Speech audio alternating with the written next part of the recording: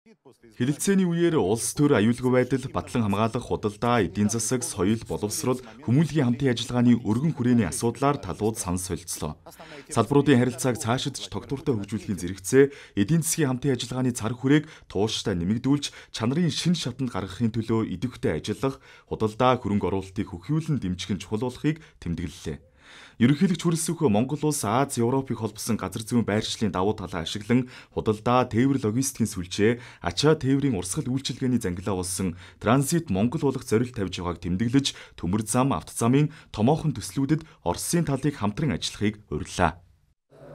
Владимир Владимировичтэй би одоо дахин уулзч байгаа их баяртай. Монгол улсын ерөнхийлөгчийн сонгуулийн дараа анхныхаа ажлыг одоо Оросын улсын улсаас хийж байгаа да. Бас анхныхаа уулзалтыг тантай хийж байгаа их баяртай байна.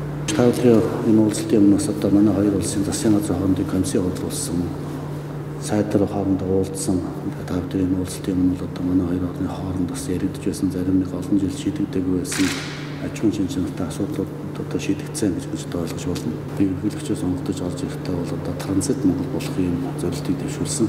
Энэ миний дэвшүүлсэн бас таны дэвшүүлсэн одоо их Евро Азийн түншлэл зорилтыг ханган хэрэгжүүлэх бас одоо холбогдох хэрэгтэй гэж бодож байгаа. Таны төвшүүлсэн энэ Евро Азийн, Евро Азийн хэмжлэгийг бид өхөндөө дэмжиж байгаа.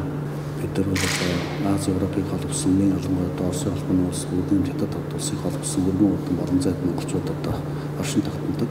Өчигдөр одоо бүгдийн хятад улсын дарагтай хийсэн таны онлайн хурал зөвлөгөө одоо маш сайхан амжилттай болсон бас танд баяр хүргэе. Манай хоёр хөршийн төрийн дөрвийн уулзалт хоёр орны харилцаа болон бүс нутгийн дэлхийн ертөнцийн хэмжээний асуудлууд ярьсан олон улсын анхаарлын төвд одоо үнэхээр орж байна. Тийм учраас Монгол улсыг одоо транзит Монгол болгоё Евразийг холбосон хамгийн төгс замны ялангуяа Оросын улбаны улс бүгдийн татвар төсөв холбосон хамгийн төгс зам бол одоо Монголын нутаг дэвсгэр байгаа. Тийм учраас одоо төмөр замыг хоёр улсыг холбосон төмөр замын баруун зүүн хоёр бусад дэлхийд тавих гэсэн юм бас бодолтой байгаа. Энэ одоо Оросын ард Оросын талд хандж бүтээх ёстой гэж байна. Зүүн талдаа бол алс орнууд өвөр байгалыг хятадын зүүн хойд хэсэгтэй холбох Монголын нутгаар дамжуулаад төмөр зам.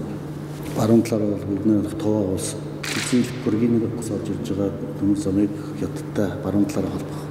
Түн одоо төв коридорын төмөр замаа сайжруулах, хятадны автозам тавих асуудал байна. Тэр нь одоо Орос Монгол, Орос хятад Монголыг холбосон хий хоолой, газын хоолойн асуудлаас амжилттай явж байгаад одоо их талархаж байна. Ерөнхийлөгч хүрэлцэх тэр бум мод үндэсний хөдөлгөөний талаар энэ үеэр мэдээлж Оросын талтай идэвхтэй хамтран ажиллах сонирхлоо илэрхийллээ.